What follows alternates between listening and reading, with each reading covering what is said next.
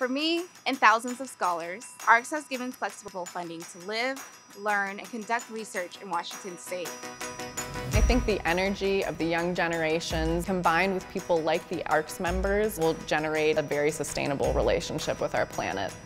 Throughout my career, I'm looking forward to demonstrating the value that ARCS has contributed to my experience here at the UW. And I really hope that all of you at this event, through your giving, are able to help future fellows have a positive impact on the world. Your commitment to funding research through ARCS endowments and fellowships are integral to training the next generation of scientists that will be able to tackle current and future public health crises. I believe that educating and inspiring children from a young age to be excited about science as I was is the key to a healthier, more sustainable future.